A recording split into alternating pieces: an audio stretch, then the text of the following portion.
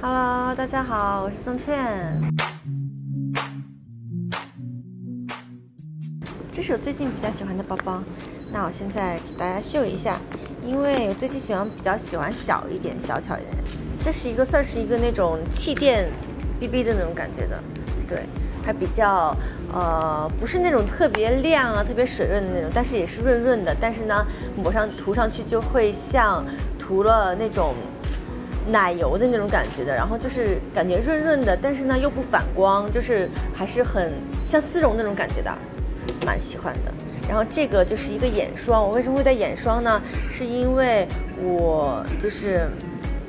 大家知道我就是就是笑起来就是无边无际的，然后也不会遮掩的那种，所以呢，然后就是比较注重眼部的这种这种保养，所以呢。就是眼霜我会随时带着，然后眼霜因为我是出，比如说到了下午啊，然后皮肤就会比较干，那我就会在眼上涂一些些，然后还有这种法令纹这边，然后还有嘴角我都会比较容易用，或者是我唇膏没有带的时候，嘴巴可能比较干，那我就会愿意把那个呃眼霜稍微涂一点点在嘴巴上面，然后会润一些，然后涂唇彩的时候也是也会比较好涂一些，这是我的小小心得。然后这个呢是一个我做指甲的美甲的地方，然后他送给我的一个呃，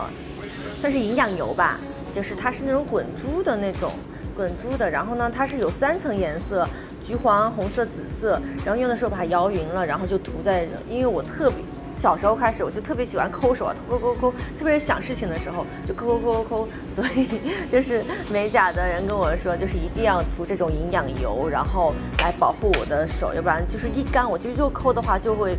就会恶性循环嘛，对吧？然后呢，这个是一个唇彩，我最近比较喜欢的唇彩，然后它就是嗯，涂上去也是比较。润，但是呢，还是有那种丝绒质感的那种。然后因为有小刷子，所以比较好涂一些，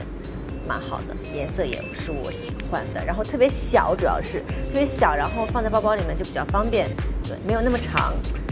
对，然后然后就是我的耳机，耳机，耳机上面给它装了一个 小装饰品。哈哈哈。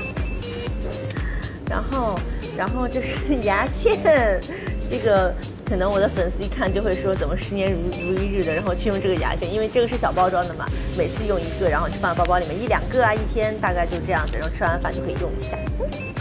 然后这个是特别迷你包装的那个湿纸巾，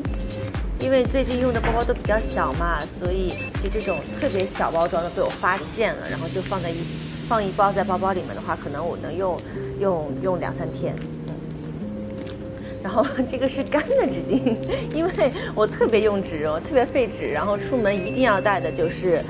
手机，呃，如果不带钱包的话就是手机，然后唇彩，然后就是纸巾了。纸巾就算其他的都不带，我也要带手机和纸巾。粘完了，这就是我就是包包里面带的东西。